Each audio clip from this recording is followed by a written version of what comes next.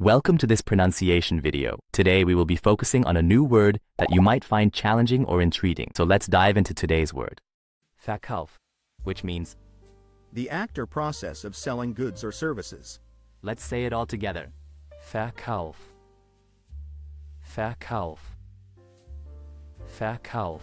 One more time. Verkauf. Verkauf. Verkauf. Thank you for joining us on this adventure in pronunciation. Remember, language is a journey, not a destination. Keep exploring, experimenting, and expanding your linguistic horizons. We'll see you next time.